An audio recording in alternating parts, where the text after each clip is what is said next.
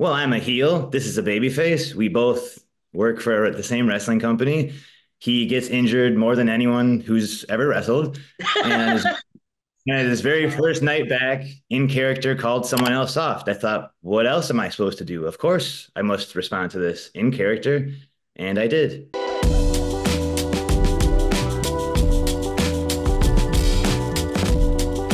Well, he's an actor, he's a comedian, but on this channel, you may know him as AEW and ROH star Ryan Nemeth.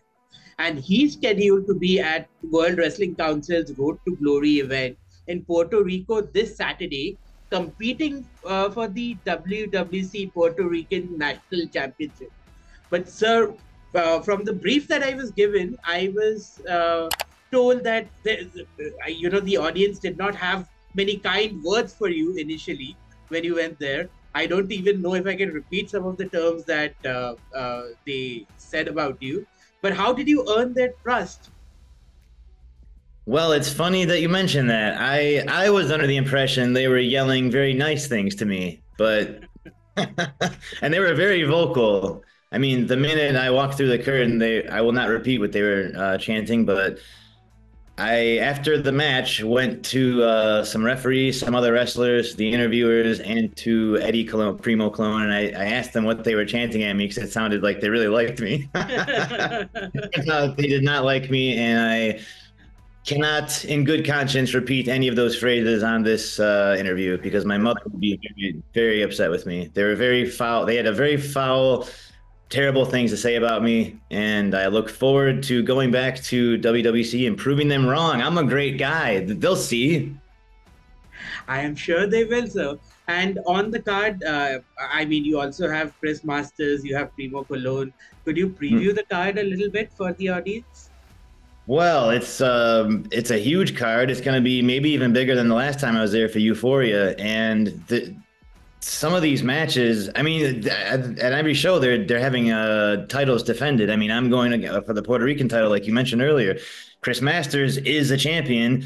He's over on the mainland. He's out in LA with me, and I was just asking him. I saw him at uh, Gold's Gym Venice. I said, "When are you defending that title?" And he said, "At the next show." And I said, "All right, there we go." There's never a WWC show without multiple titles on the line. There's so many titles I can't keep track of them, but they're all very well established and well defended. And every one of those matches I saw at the last show was incredible. I mean, you couldn't look away without so much action happening. And there's different styles. There's the Puerto Rican style. There's the American style blended in. There's a hardcore. I mean, there's some blood.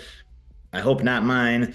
And uh, like we were talking about at the beginning of the interview, the crowd is going insane the whole time. They have those horns. They're screaming. They're yelling profanities. I mean, it's it's everything I've dreamed of. When I started wrestling, I'm sorry I'm getting a little long winded right now, but these shows get me really excited. When I first started, my trainer uh, was Rip Rogers at OVW, and I was with Jim Cornette, Danny Davis, and Rip Rogers.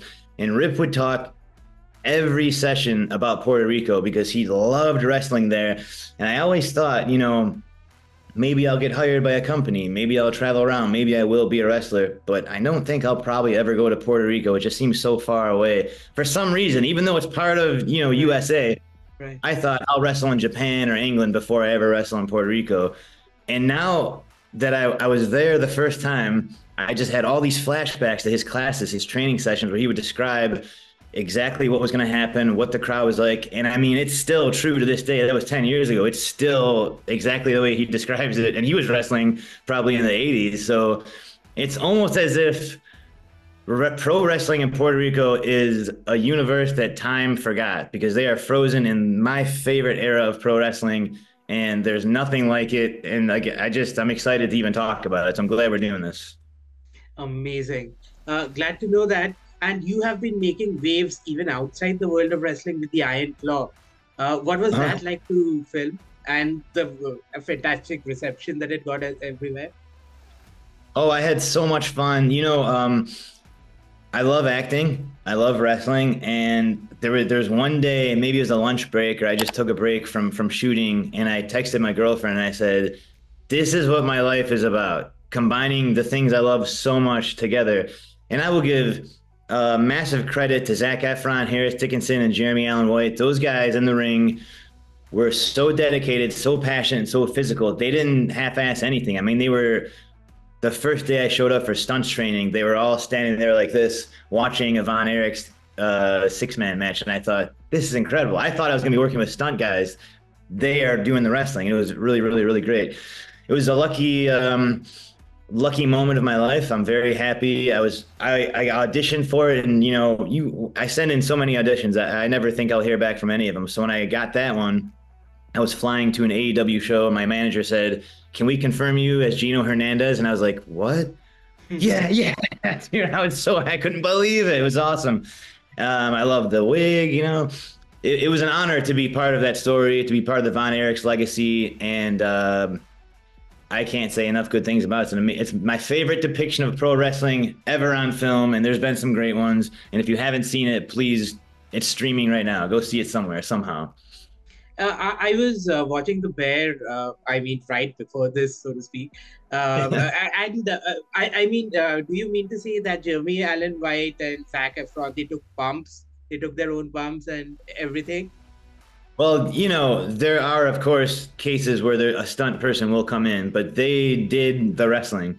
I literally saw Zac Efron in the same ring with me, jumping off the top rope, and I was just thinking, you know, this is, this is one of those things you never think you're going to see is barefoot Zac Efron leaping off the top rope in a pro wrestling ring. I mean, it was great. and I gotta give credit to Harris Dickinson because he threw one of the most beautiful drop kicks I've ever seen in pro wrestling. Wow. And they kept it in the movie. And I remember I, I, when it's streaming, you know, I saw it in the theaters. You, I think it's him, but on streaming, I went back and slowed it down. I'm like, that's him. That it's really him throwing the drop kick. And I was so proud because drop kick's one of my favorite moves ever. I love a drop kick. And it was great to be on hand to help these guys and you know not that they needed that much help they're natural athletes and so but, but i must give credit to harris's drop kick beautiful amazing man uh, so you uh, ha- were uh, i mean you have been a part of aew for such a long time but uh, we haven't seen you that often uh, in the ring uh, I, I mean what is the status can we expect you back in the ring in some capacity soon I will very diplomatically tell you is that that is a topic I just can't talk about at the moment. Okay, fantastic. But I am uh, you know, everything I've ever done with AEW, I've been very proud of, and I appreciate the time that uh, every single match I had there and all the friends I made. And it was a great experience. And TBD, I just, you know. Uh, all right, all right, fair enough. So, I, I, I mean, going back to that experience, what were some of the highlights of that run? Uh, in AEW? Yeah, yeah.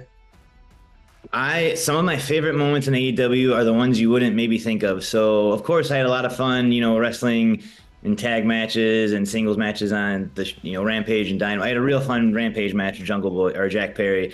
But but the moments that I will never forget, um, and I, I choose these in you know my entire career, whether it's NXT, Indies, anywhere else. In AEW, one of the biggest moments ever for me was. Uh, at one point and during Dynamite in the Jacksonville uh, lockdown days, I was in outside of the ring with Sting and Sting and I interfered in the match. It was Darby and JD Drake, I believe. And Sting came at me with his baseball bat and I was like, "Oh, no, no, no." And he pushed me out of around the whole entire ring, up the back ramp, out into the parking lot, and I just thought this is kind of amazing because this Sting is a legend uh, the last interaction a Nemeth had with Sting was at Survivor Series when he helped my brother win Survivor Series. It right. was on my mind. You know? And also, I love cartoons and the Three Stooges, and this just seemed like a very Looney Tunes thing to be happening. Like I'm just I'm falling backwards the whole way. I, like you know, I thought it was incredible. So for those three reasons, that is a major highlight for me anytime in AEW that Tony would ask me to go out to the live audience, whether during commercial break, during live TV, or or you know in between TV tapings, he would. He, I I will credit him that he always trust he trusted me to get heat from the crowd. And there was a, an emergency. Hangman Adam Page was knocked out on live TV and Dynamite during the main event, and we had trouble. You know, the show can't end that way. So I was just standing around Gorilla, and that was another example of Tony just saying Ryan, go out there, get some heat, and uh, you know, do something with uh, the Blackpool Combat Club. And I said, got it. My music hit, and I just watched the ring talking knowing that I'm good at this. I'm prepared. I can get some heat from Cincinnati.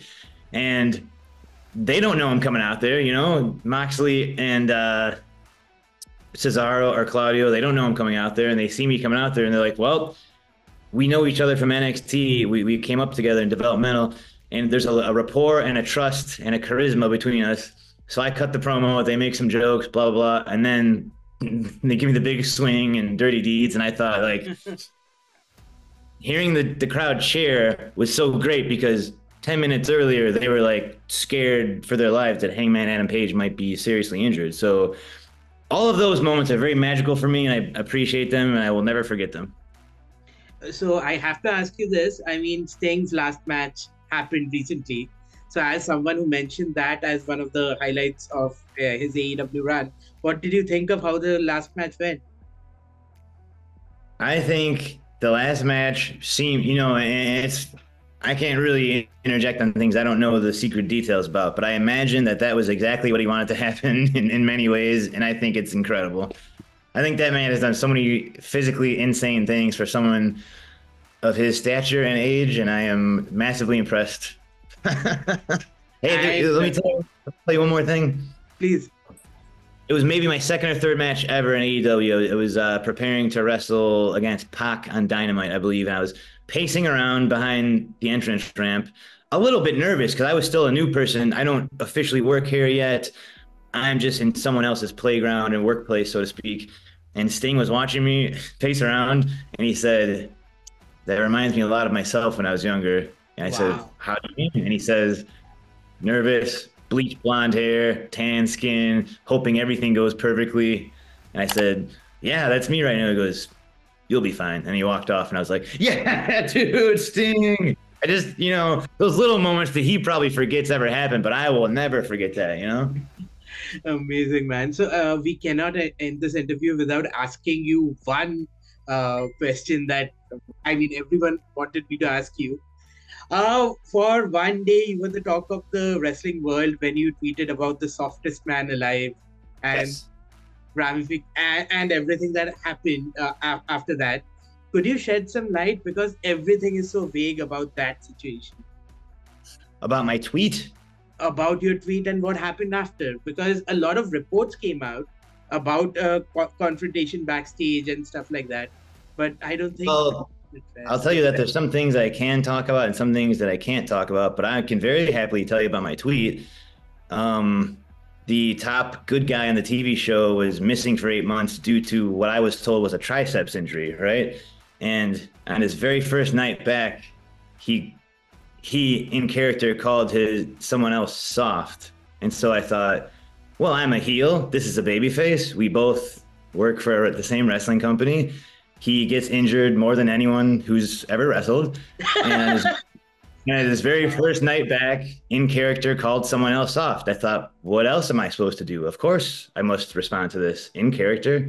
And I did. And so anything beyond that, I guess I'm probably not uh, safely Language. able to talk about at this time during this interview. But I think that's a very reasonable thing for a talking bad guy heel to say in response to the heroic babyface who seemed to be a little bit hypocritical.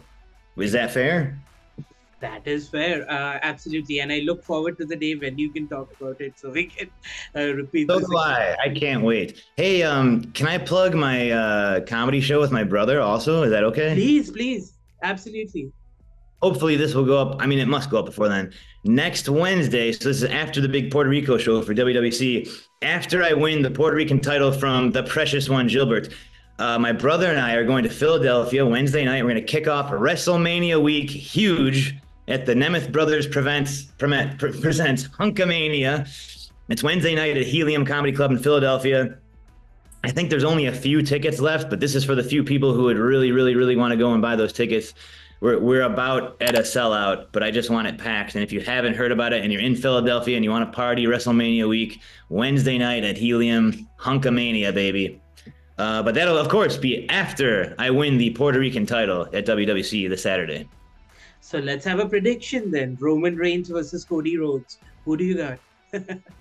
oh, this is so hard because I, you know, I I started with uh, Roman Reigns. We came up together in FCW and NXT, but Cody Rhodes was very instrumental in getting me uh, set up at AEW. So this is tricky. I think probably Cody's got this one. Amazing. So let's so let's end with me asking you, uh, what is your Mount Rushmore of comedy? Let's end on that. Mount Rushmore of comedy. I can tell you someone that I think about every single day is Chris Farley. Right. How can you not? So, I'm not amazing at Mount Rushmores, and I'm not amazing when people say, "What's your five top movies or uh, songs or, or wrestling matches?" That's very hard for me. But I can tell you that every single day, I, I bask in my admiration of Chris Farley, his uh, youthful innocence, no matter how, what age he was, his athleticism, his charisma, and is just he's just oozing with you love him, you know, and um, that, that I aspire to that guy. You know, I think he's amazing do you think if uh, you know van down by the river he takes a bump almost as well as a wrestler right